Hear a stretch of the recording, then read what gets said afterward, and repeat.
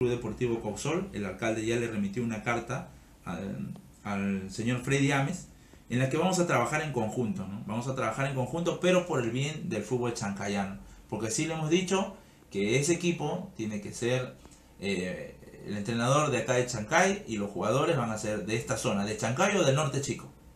¿Ya? Pero que, ese equipo va a ser de Chancayanos, de Sub 15 y 7 y nos va a dar mucha alegría, Gina, porque te comento que pese al campeonato entra la Alianza Lima, la U, Sporting Cristal, la San Martín, pero en esas edades, en 15 y 17. Y, sobre todo los chicos van a tener la oportunidad de ver el nivel, de, chocar con, con, chicos en ese nivel, eh, eh, cómo está el fútbol profesional.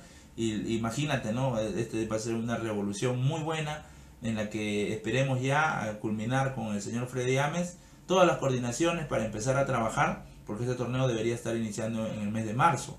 Eh, y, y, para eso eh, ya tiene que estar preparadito nuestro equipo. Pero eso sí, ¿no?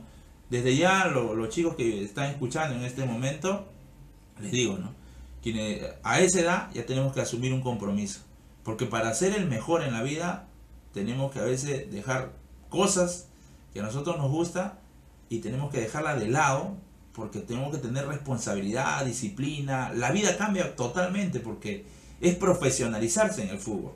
Y si yo llego a, estar, a ser parte de este equipo, en este caso que sería Consol, es ya ser parte de ser un jugador profesional. ¿no? Y en ese sentido este, tengo que entender qué es lo que estoy asumiendo. Esperemos este, que todos los chicos tengan la oportunidad y el cuerpo técnico que va a ser de gente de Chancay. Este, claro, pueda... Pero Copsol tiene sus categorías en Lima, ¿no? E ese tiene es en 15, Lima. 17. Exacto, en Lima, ¿no? Pero ahora, este, como ellos juegan acá, este, lo van a poner acá en, en Chancay, van a asumir el compromiso de, de salir con el equipo de, de, acá de Chancay. No hemos tenido ya una previa, este, esperemos finiquitar ya todo lo que no, de las reuniones, de ver la, todo, todo lo que respecta para poder este, armar todo ese cuadro. El alcalde está ávido de que se pueda dar la oportunidad a través de este proyecto a los chicos y sobre todo que también tenemos el apoyo de la federación. ¿no?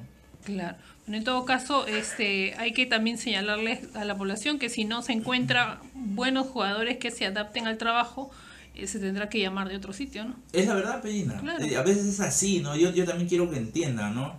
Este, en esto ya es pasar a, a, a otro a nivel, claro, es otro nivel de preparación. Exacto, ¿no? Y el padre tiene que entender, a veces el chico tiene que hasta alejarse de sus amigos de su salón porque tiene que cuadrar y tiene que entrar a un colegio donde tenga el horario respectivo, no choque con sus estudios, pero pueda entrenar.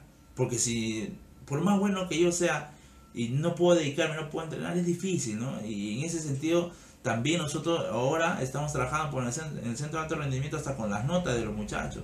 Los, los chicos tienen que tener buena nota. Antigua, antiguo eh, pasaba que, por ejemplo, el talento, el mejor jugador de fútbol o el mejor atleta, el voleibolista, los profesores lo ayudaban para que pase más bien. Claro. Pero nos damos cuenta que es un daño. Es un daño. La formación tiene que ser integral. Hay tiempo para todo en la vida. Hay tiempo para todo y, si alguien quiere triunfar en la vida, tengo que estar bien en mis estudios y también tengo que ser un buen deportista.